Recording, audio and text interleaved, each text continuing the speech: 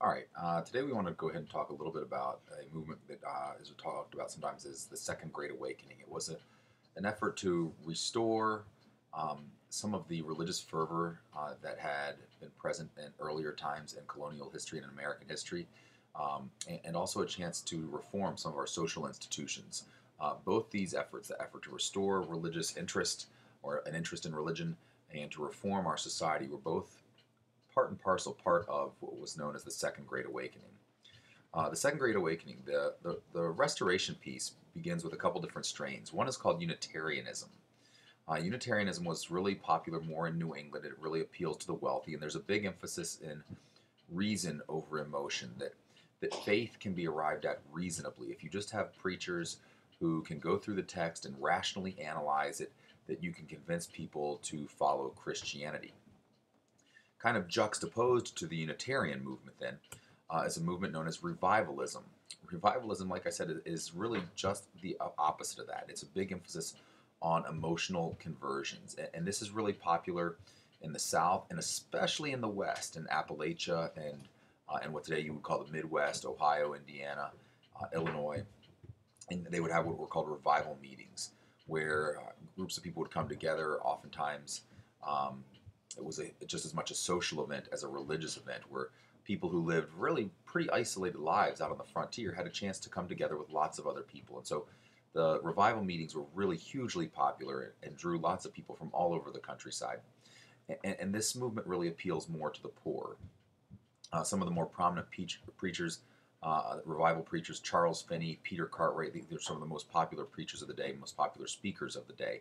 Uh, and they were part of the revival movement. Uh, also, there was a, a movement within African American churches. Uh, in particular, uh, a lot of them again located in the Northeast. Bethel African Church uh, in Philadelphia, one of the most prominent. Uh, the preacher there, uh, Richard Allen, was a Methodist, and he goes ahead and he advocates for political change and cultural change in the United States. And this really becomes a centerpiece of African American culture and becomes a big part of the abolition movement. Uh, the churches in the African American community were incredibly powerful, really all the way up through civil rights. Uh, and in fact, you still see uh, the African American churches, uh, in many cases, help to organize the African American society, uh, even to this day. Uh, ministers can have a powerful impact, and that all traces back to the Second Great Awakening.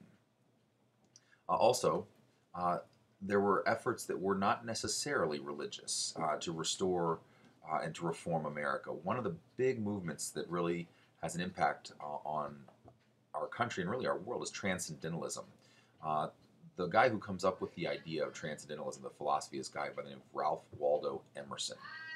And uh, Ralph Waldo Emerson goes ahead and says that look, there are transcendent truths that you can develop from nature, uh, and that um, you can go ahead, like uh, some of the truths, like simplicity, stuff like that these were some of his thoughts. And while he's the guy who really comes up with uh, transcendentalism, uh, the guy who really is probably most noted and has the longest lasting impact is one of his disciples, Henry David Thoreau.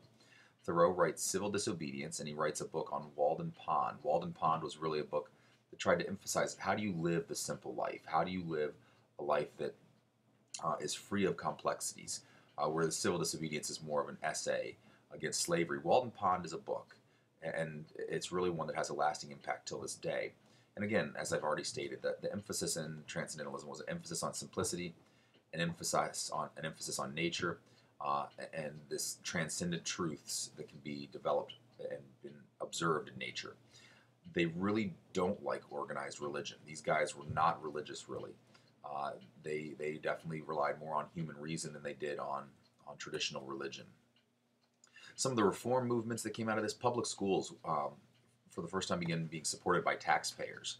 Um, uh, direct taxes, where uh, property tax, things like that, things that we are familiar with today, that trace their roots right back to the Second Great Awakening. Uh, one of the first states to implement this policy was Massachusetts. They they appointed a guy Horace Mann, who becomes the Secretary of Education in Massachusetts. He's the very first uh, Secretary of Education, and Horace Mann believed that education was necessary to be a good citizen uh, in a democracy. And that's really one of the, the underlying principles still in our education system today. And it traces its roots right back to the Second Great Awakening. Uh, prisons also, um, uh, folks like Dorothea Dix uh, who advocated for an emphasis on rehabilitation rather than punishment, uh, who advocated for mental health hospitals. That you know a lot of people in our prisons weren't necessarily criminals, but they were incompetent. Uh, and so those folks needed something different than a prison. And that's a movement that you see kind of picking up steam a little bit today. We kind of went away from that, uh, and now we're kind of moving back towards it. Uh, other critics of the, the prison system, guys like Alexis de Tocqueville, who writes Democracy in America, really one of the foundational works describing American society. And he's around back in the, the mid 1800s, going around and touring America and writing about what he sees. Uh, he was a Frenchman who came over here. Uh, and again, a huge scholarly work, Democracy in America, till this day. Uh, there were folks who also advocated for utopian societies, or in other words, perfect societies. Uh, and these were guys who really wanted to try to make things, get rid of all human frailty, to get rid of uh, corruption and things like that. Noble goals, um, but really uh, sometimes goals that are proving a little bit more elusive and sometimes even maybe a little bit dangerous. But uh, some of the guys like George Ripley establishes what's called Brook Farm just outside of Boston. They really practice what amounts to communism, where all members shared ownership of everything. The utopian society was a complete failure. Brook Farm failed. In fact, most utopian societies were, in fact, uh, proved to be uh, completely unworkable. So uh, that's a little bit about the Second Great Awakening.